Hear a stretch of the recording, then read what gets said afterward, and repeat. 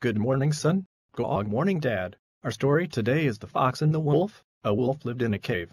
He had stocked up lots of food and did not need to hunting. He then stayed in the cave and enjoyed the food. When the wolf did not go out for many days, his friend the fox looked everywhere for him. At long last the fox found out where the wolf was. Pretending to ask how the wolf was feeling, the fox came to the mouth of the cave and peeped in. The fox thought he would be invited to share the goodies, but the wolf replied in a gruff voice I am too sick to see you. My dear friend, the fox trotted off, very angry and upset with the wolf.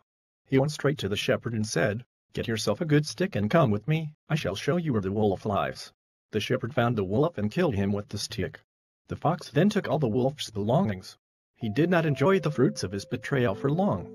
After a few days, the man was passing by the cave. He saw the fox there and killed him, too. Good story. Have a good day, my son.